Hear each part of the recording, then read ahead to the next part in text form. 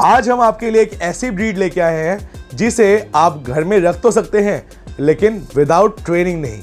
ये डॉग इतना पोटेंशियल रखता है कि किसी भी स्पोर्ट को अपने लिए बाएँ हाथ का खेल बना दे। ये रिट्रीविंग से लेके अटैकिंग से लेके, हर चीज़ में नंबर वन है। इस ब्रीड का नाम है बेल्जियम मेलानॉज ये डॉग ब्रीड अपने बाइट वर्क के लिए पूरे दुनिया में फ़ेमस है। ये ऐसी ब्रीड है जो 18वीं सदी में मेलानीज जगह थी बेल्जियम में वहाँ से आई है। इसके अंदर बहुत ज़्यादा पोटेंशियल है, जिसकी वजह से हर जगह from military to sniffing to fire department to search and rescue हर जगह इसका इस्तेमाल किया जाता है। और इसी की एक एक और शाखा है, जिसे कहते हैं बेल्जियम टेरुवेन जिसने फ़र्स्ट डॉग शो जीता था पूरे दुनिया में। लेकिन हम आज बात कर रहे हैं बेल्जियम मैरानॉइस का। बेल्जियम मैरानॉइस सिर्फ़ और सिर्फ़ उन ओनर्स के लिए बना है जो दिन में चार घंटे अपने डॉग को दे सकते हैं। चार घंटे मतलब अगर अपने अपने डॉग के साथ दो घंटे जॉगिंग कर रहे हैं और उसके बाद थक जाते हैं तो ये आपके लिए नहीं बना। इस डॉग को दो घंटे जॉगिंग के साथ एक घंटा फेच खिलाना पड़ेगा और कुछ एक्रोबेटिक एक्सरसाइजेस भी करानी पड़ेंगी।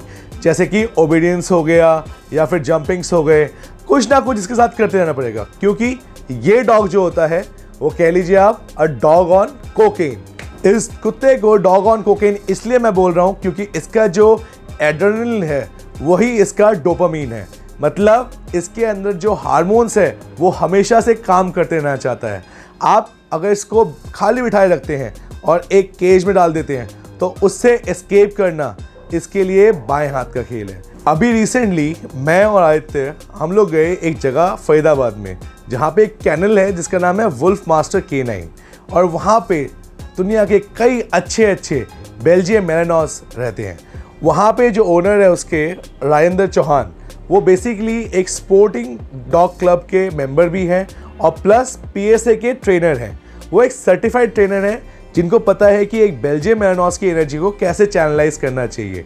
और हमने वही चीज़ वहाँ पे देखी कि जब उन्होंने दूसरे बेल्जियम मेलानॉस को ट्रेन करना स्टार्ट किया, जो उनके पर्सनल भी थे और कुछ क्लाइंट्स के भी थे, और उनके अंदर से कैसे ड्राइव निकालनी पड़ती है, कैसे एनर्जी लेके आना पड़ता है, कैसे उनको मोटिवेट करना पड़ता है, कैसे प्रोटेक्शन के साथ उनके बाइट वर्क को, उनके स्निफिंग को, उनके ओबीडियंस को लय में लेके आए।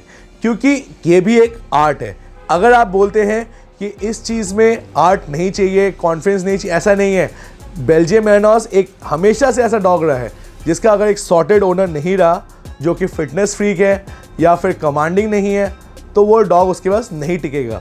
उसके लिए राजेंद्र चौहान जैसा एक डिसिप्लिन बंदा चाहिए होता है। अब बात करते हैं इस डॉग के कैरेक्टर स्केच के बारे में, कि इसके ग्रूमिंग कैसे होती है, कितना खाना देना पड़ता है, कहाँ मिलता है, बहुत सारी चीज़ें फैक्टर मैटर करती हैं यहाँ पे, मैं बताता हूँ। बेल्जियम मैरानॉस आज की डेट में सिर्फ़ और सिर्फ़ स्पोर्टिंग क्लब से लें। स्पोर्टिंग क्लब जो पीएसए डॉग्स को ट्रेन करते हैं जो वर्किंग लाइन्स होते हैं। यहाँ पे आपको दो तीन बंदे हैं जो बेल्जियम मैरानॉस ट्रेन करते हैं और ब्रीड करते हैं। उनमें से एक है राजेंद्र चौहान एक है हर्षित राष्ट्रपाल और कई ऐसे डॉग क्लब्स हैं जहाँ पे बहुत अच्छे अच्छे बेल्जियम मैरानॉस ब्रीड हो रहे हैं। लेकिन मेक श्योर sure करें, एक पी सर्टिफाइड ट्रेनर से ही बेल्जियम मैरानॉस लीजिए। क्योंकि मैं आपको इसलिए ये चीज़ बोल रहा हूँ अभी रोहिणी में, सेक्टर 18 में मैंने एक बेल्जियम मैरानॉस से इनकाउंटर्ड हुआ। वो जो डॉग था, वो इतना सॉर्टेड था और एक आम कुत्ते की तरह वॉक कर रहा था अपने ओनर के साथ। लेकिन जब मैंने उससे पूछा, आपने लिया कहाँ से है? तो उन्होंने एक ही चीज़ बोली कि मैंने वुल्फ मास्टर के नाइन से लिया है। और मज़ेदार बात ये थी कि डॉग उसको तब दिया गया जब उसने उसको हैंडल करने की ट्रेनिंग ली। मतलब आपके पास एक गन है, उसको चलाना, उसको रोकना, उसको कब यूज़ करना, उस सारी चीज़ों को समझना बहुत ज़रूरी है। अब आते हैं इसके ग्रूमिंग के पार्ट पे कि इसको कितने ग्रूमिंग की ज़रूरत है। बेल्जियम मैरानॉस वैसे तो डबल कोट डॉग होता है, लेकिन अच्छा खासा शॉर्ट कोट होता है इसका। इसके अंदर आपको डेली दो बार ग्रूम करना है, कभी शेव नहीं करना, और मेक श्योर sure करना है कि उसके पैर या टकने छिले ना हो, क्योंकि बहुत ज़्यादा भागता है और हमारी रोड्स ऐसी हैं कि कई बार पैर छिल जाते हैं। अब आते हैं इसके डाइट पे। बेल्जियम मिलानॉस के लिए बेस्ट डाइट है बार्फ डाइट मतलब जो रॉ डाइट होती है, चिकन को कीमा करके या फिर मटन को कीमा करके आप दे सकते हैं विथ ऑर्गेन मीट। इस डॉग को रखने के बाद अगर आप सोचते हैं कि वेजिटेरियन डाइट दे के इसके अंदर से ड्राइव्स लेके आएँगे, नहीं हो सकता। वेजिटेरियन डाइट से सिर्फ़ और सिर्फ़ एलर्जीज पैदा होती है। और इन स्पोर्टिंग डॉग्स के लिए protein is a high source of energy क्योंकि जब तक प्रोटीन नहीं आएगा, उनके मसल्स को पावर नहीं मिलेगी, उनको वो सपोर्ट नहीं मिलेगा जिस चीज़ के लिए वो बने हैं। इस ब्रीड की अब बात करते हैं कि इसको एक्सरसाइज कितनी चाहिए होती है। इस ब्रीड की जो एक्सरसाइज रिचुअल है, वो मान के चलिए आपके पास दिन में एटलीस्ट चार घंटे होने चाहिए इसको ट्रेन करने के लिए। चार घंटे मतलब कंडीशन करने के लिए। जिसके अंदर आप मेक श्योर sure करेंगे, इसे रनिंग दे रहे हैं। रनिंग मतलब आप साथ में जॉग कर रहे हैं या एक जॉगर लगा रहे हैं, जो एटलीस्ट दो घंटे इसके साथ स्लो जॉगिंग कर रहा हो, जिससे इसका स्टैमिना बिल्डअप होता है। साथ के साथ, इसके साथ आपको एक बॉल रखनी है, जिसके साथ आप खेल सकते हैं फैच खिला सकते हैं। घंटों तक ये फैच कर सकता है, खेल सकता है। रस्सी दे दीजिए, उस पर लटका रहेगा।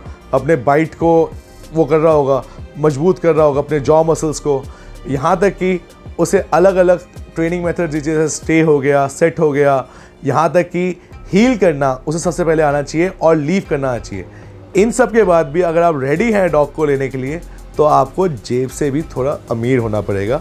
I am really sorry to say this this dog is not easy to buy अगर आपको कोई अच्छा ट्रेनर या अच्छा ब्रीडर ये डॉग देता है तो वो मेक श्योर sure करेगा you are getting a train Belgium Malinois it is not for first time dog owner क्योंकि ये आम कुत्ते की तरह नहीं है। इसका ड्राइव बहुत हाई होता है और इसका जो प्राइस होता है, आप मान के चलिए एक लाख से लेके नौ लाख तक वेरी करता है। कई ब्रीडर्स ऐसे हैं जो बेल्जियम मेरानॉस को 25 से तीस हज़ार में बेच रहे हैं, लेकिन घटिया क्वालिटी के साथ। मैं हाथ जोड़ के रिक्वेस्ट करता हूँ कि ऐसे ब्रीडर्स से बेल्जियम मेरानॉस ना लें। कारण है उसके पीछे कि अगर आप इतना अच्छा डॉग ले रहे हैं लेकिन एक सॉर्टेड माइंड के साथ नहीं ले रहे आपकी पूरी लाइफ रोइन हो जाएगी। सो so, और ऐसे डॉग फैक्ट्स और ऐसे डॉग ब्रीड्स के लिए हमें फॉलो करते रहें। मैं अभिनव कृष्ण ए के डॉग डैडी आपको इसी तरह टी पे बताते रहूँगा डॉग वर्ल्ड में कितना सारा खजाना है।